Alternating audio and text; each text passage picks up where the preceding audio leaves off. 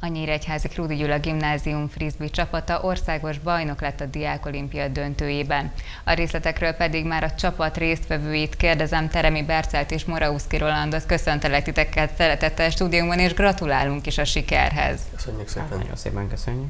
Kicsit meséljetek, milyen volt ez a Diák Olimpia? Ugye nehéz volt, mert akár 9-esek, akár 12. osztályosok is szerepelhettek és versenyezhettek, úgyhogy ez egy külön megterhelő helyzet. Um, igen, nagyon, nagyon kitűnő volt az, hogy ugye fizikálisan és mentálisan kicsit erőlébb, erőlébb, erőlébb voltak a uh, 12-esek, mert leginkább ők ellenük játszottunk.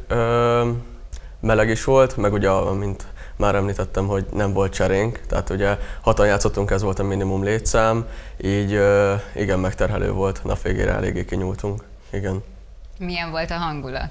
Hát a hangulat az kiváló volt, próbáltuk ugye feltüzelni a srácokat, hát ki lehet mondani, mi voltunk a két húzó ember a csapatnak, igazából próbáltuk őket mentálisan is ö, felhozni arra a szintre, hogy inkább küzdjünk és versenyszellem, és harcoljunk az első helyért, és hát ugye sikerült is. Először szerepeltetek nagyobb versenyen?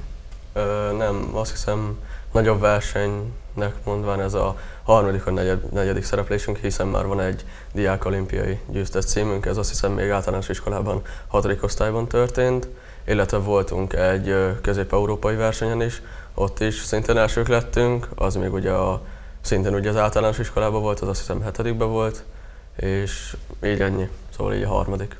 Érdekes sport ez a frisbee. Hogy jött az életetekbe, vagy hogy kezdtetek el frisbeezni sportszerűen? Hát ugye volt nekünk egy edzőnk, még annó általános iskolában ő volt a tesi tanárunk, és ő hozta be nekünk az egyik tesi órára egy adag korongot, és akkor hogy gyakoroljunk, kezdjünk el játszani, és ő vitt minket el az első versenyünkre is, úgyhogy igazából neki köszönhetünk mindent. Innen is köszönjük Misi bácsinak az apácaiból. Úgyhogy hát általa kezdtük el, meg a fia általa frisbee sportágat. Mit szerettek benne, vagy mi az, ami mondjuk pluszt ad egy focihoz, egy kosárlabdához képest? Hát én személy szerint kosarazok, és nekem nagyon, én nagyon szeretem a frisbee-ben azt, hogy nincsen, nincsen játékvezető, tehát nincsen bíró, a játékosok beszélik meg egymással szabály és játékismeret alapján, hogy mi volt szabálytalan, mi az, ami az egyik csapat felé húz, mi az, ami másik csapat felé húz egy, egy szabálytalanság hívásában, tehát ez nekem nagyon tetszik. Öten vagytok egyszerre, vagyis öten voltatok egyszerre pályán, ugye egyébként három lány és három fiú vett részt a csapatban, vagy voltatok, így volt az összeállítás. Hogy tudtak együtt dolgozni? Mennyivel, mennyire könnyű mondjuk a lányokkal együtt játszani a pályán? Hát a mostani lányaink, akik voltak, ugye három, belőlük kettő volt frisbee tehát ő a régi csapatban is szerepelt. Az egyik lány, ő egy évig volt, rendes csapattagja, a másik pedig a kezdetektől. Velük könnyű volt, volt egy lány, ugye, aki teljesen új volt a sporthoz, viszont ő mellette űzött más sportokat.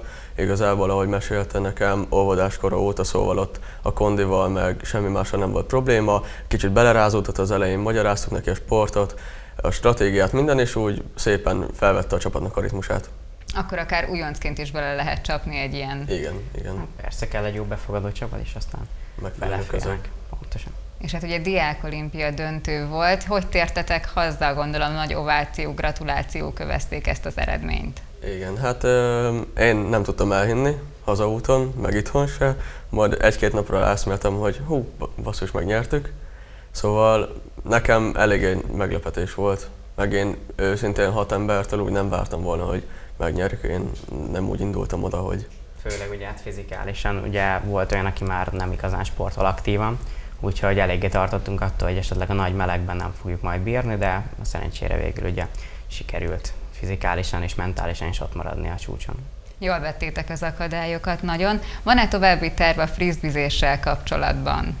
Hát a terveink azok ugye vannak, hát most a klub szinten igazából mi nem játszunk már, viszont iskolai szinten szeretnénk jövőre is elmenni a Diák Olimpiára, és a célunk a címvédés. Gondolom ugyanez itt is, Igen. mindkettőtök számára. Igen, hát a címvédés következő három évben is, mind a három Diák Olimpián. Én kívánom, hogy így legyen, és még egyszer nagyon gratulálok nektek, fantasztikusak voltatok, és sok sikert a továbbiakban Köszönjük is. Szépen.